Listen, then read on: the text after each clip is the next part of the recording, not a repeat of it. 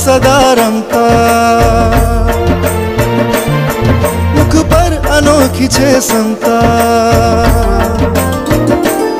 स्वाध्याय माँ सदा रमता मुख पर अनोखी छे समता निष्पूरता निर्दोषता, निष्पक्षता, निजभरता। अंतर्मुखी थे आत्मवैभव ने अनुभवता।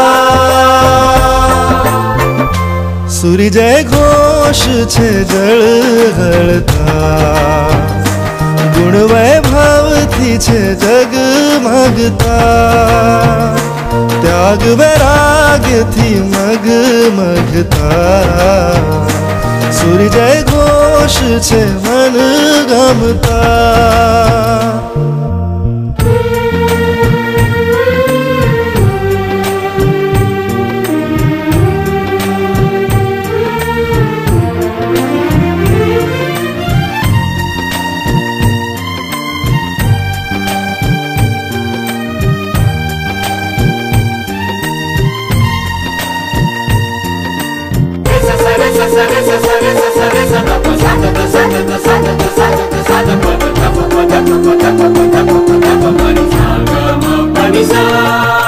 प्रेम सूर्य पार खिली दो, एक जवाहर।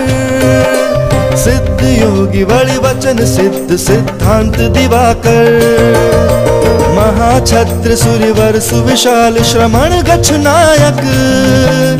हित चिंतक पथ दर्शक, गंभीर प्राश्चित दायक सूर्य प्रेम भानु नारतन धर्म घोष मुनि नो जतन गुरु ना वचन। शिर धरता।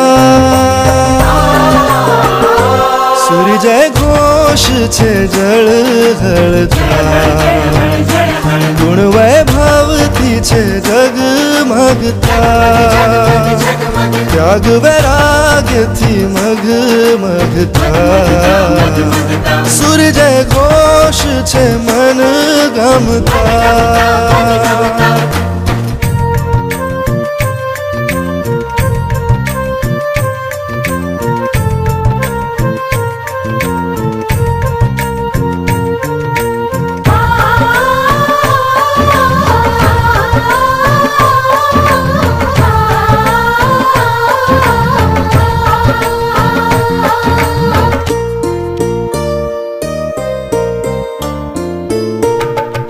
ગમતા શાસ્ત્ર ચિંતન અનુપ્રેક્ષા એના શ્વાસે શ્વાસે ગુણ પુણ્ય ને જ્ઞાનનો સંગમ એની જ પાસે વાત્સલ્યનું વાદળ થઈ અવિરત એ વર્ષે ગંભીરતા ગીતાર્થતા એમની સહુને સ્પર્શે જ્ઞાન યોગ થઈ મગન દોષોનું કરતા દહન સ્વરૂપનું સ્મરણ નિત્ય કરતા.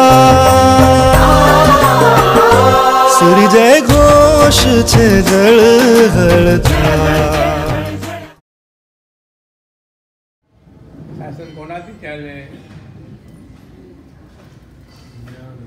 ભગવાન પછી આચાર્યને તીર્થકર સમાન કયા છે? કયા છે? આચાર્ય એ અર્થના માલિક છે. સૂત્ર બધા ભણેલા છે. સૂત્રના જ્ઞાતા છે અને અર્થના જ્ઞાતા છે. બેવા મોટું ઉપાધ્યાયનું કાર્ય શું? શાસ્ત્રો ભણાવવાનું. આચાર્યનું કાર્ય શું? શાસ્ત્રનું વિવેચન સમજાવવાનું. શાસ્ત્ર વગર વિવેચન કરે તો ચાલે? એટલે આચાર્ય આ ભગવાન સમાન, તીર્થંકર સમાન છે એવા કયા આચાર્યો વર્તમાન કાળના જેટલા શાસ્ત્રો જાણા છે, એટલા શાસ્ત્રોને ભણેલા હોય ભણાવી ભણાવતા હોય, ભણી શક્યા હોય અને સમજાવતા હોય એવા આચાર્યો તીર્થંકર સમાજ છે. સૂર્ય ઘોષ છે જળ હળતા ગુણ વૈભવથી છે જગમગતા